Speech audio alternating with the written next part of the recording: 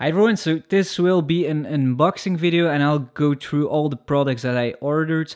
So if you don't like unboxings and uh, seeing what I bought, I should just advise you to skip uh, this video. But I think you should watch it because it's pretty cool to see um, what materials I've ordered and what I'll possibly be doing with them. So um, it's also something like write in the comments if you see like for example here it's the high temperature resin. I already used it in another video but if you think like oh it would be cool if you could make like um, like spoons or something like that made out of pre-preg just leave your suggestions down below and I'll try to keep that in mind uh, for future videos because all of these products are like mostly ordered uh, for tutorials along 2019. So um, most of these products will be used before the end of the year because I go to, through quite a lot of materials uh, during the year. So um, this is like more like a, a quick um, unboxing time lapse just to show you all the materials.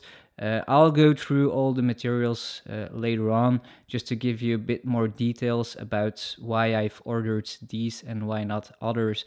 So a thing like most people ask why always Easy Composites it's quite easy to answer. It's because I've started, I think, seven years ago, and I seen their um, infusion video, and so I started looking into it, and then I just ordered their products just to be sure that I could do exactly the same following their tutorial. Since then, I've got so used to their product that I always use them. It's more like a matter of of like the the nature of knowing how the products work that are very um, like uh, uh, I'm in a relaxed state when I'm using epoxy that I know because I know exactly how it will behave. So you can also see there's a lot of glass casts. Um, so I did the resin uh, table, so the river table, uh, and I'm hooked to working with wood now, and um, I'll do more tables. So I think it's about uh, 30 liters so uh, it's good for two or three tables. If you want me to um, make more tutorials about tables or other castings with it just leave a comment below. I have some ideas um, but if you want to say like i would like a table like this with this color just let me know. So here's a, a fun thing like it's a new uh, bottle. They changed it a bit and i've seen that the catalyst of the glass cast 10 is um, like you can use a glass cast 1050 with two different hardeners. So uh, that's something new that i didn't know before. So you can use the 10 or the 50 i suppose that the 50 will uh, react a bit slower because it has more like uh, mass that you can uh, pour in one go. So here's the catch pot. So i've ordered a new one uh, just so i have two of these because i don't want to mix um, too much like silicones with the epoxies to avoid contamination. What you see is the infusion resin the laminating resin. I go through quite a lot of infusions so laminating a bit less so that's why there's only one then the easy release is in my opinion the best release agent you can use and the mold cleaner before using your molds then you can see the EG160 i've used this to make high temperature molds for pre-preg. And you could also see like in the previous few seconds that the pattern coat, the gloss coat is in a new bottle. So I extremely like this because I hate having those uh, tins where you pour some uh, resin out and then it sticks to the sides. And I think it's better in a bottle. Here you can see the different pigments. Um, they are specific for different types. So you have epoxy, polyurethane, and polyester. Uh, then you have the Pearl X. These are the two that I was missing. So I've already showed some examples with the Pearl X. I was missing the black and the white. And I think like the white is pretty cool because you can mix two colors and have some white streaks into your pores. So uh, when you're looking at river tables, sometimes you see like blue with a stripe of white into it, like um, a metallic flake. That's how it's possible to do. And then we have the catalysts of the CS, so the additive um, silicone and the condensation cure. Two different types. I'll go through that in a video that is ready and I'll be um, making uh, the video today. So uh, pretty soon it will be online after or before uploading this video. Then you have the laminating epoxy. So it's high temperature. I was just showing you the viscosity because it's not something you can infuse. But i was thinking about like a topic on this uh, channel about making like things not to do with um, resins or stuff and just try it out. So I'll be trying an infusion maybe with this uh, high temperature epoxy. Then you have the Uni-Mould system, so it's my go-to system for um, making polyester molds. Keep in mind that if you're going for pre-preg, you should better use the high temperature uh, resins. Then I have some rollers, really like these because they're hollow on the inside and then they don't suck too much uh, resin in. Then there's a braided sleeve that I'll be using for tube, so I have a tutorial about that in mind as well. And here are the scissors. So I go through quite a lot of scissors and my, like the biggest problem for me is that I'm left-handed. Uh, so it's very difficult to find the good pair of scissors and I really like these. So um, I just uh, ordered a few of these just to be sure for next year. So then I have more connectors. Um, I'm making more and more pre-preg parts as well and just try to batch them in one go just so they can go into the oven in one go. Uh, that's why I have more connectors. And then the Permagrits, extremely good tools. So I use these on my Dremel um, and my um, Black & Decker jigsaw. These are more like the finishing end mills. I'll try to do something with this on the X-Carve as well, just to try to do some milling. I have a water bath now as well on the uh, X-Carve. And I'll be trying to carve into carbon fiber a bit more.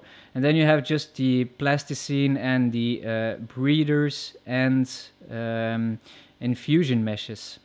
So Here's a good tip, and I strongly advise everyone to do this, is label all your products by date, because sometimes you'll, you'll find a cup and you don't know how old it is. Uh, this way I make sure that I always know that I'm using them, like probably better within one year, but I've used some resins and even hardeners after three years, and they still work. But I should advise you just to do a small test sample to see if it's okay. So here we have the pre-pregs. So I have um, like all the various prepregs that you can get. These are all out of autoclave, so keep that in mind. I'm not using an autoclave, I'm just using the oven with vacuum. So here's the second box and about that I'll go through more about the prepregs later on in this video as well. So um, here's the big box with different rolls, so uh, mostly materials that I'll be using um, in the video. So uh, it will be fiberglass, carbon fiber, um, but I'll explain you a bit more why I ordered these and what my favorites uh, fabrics are.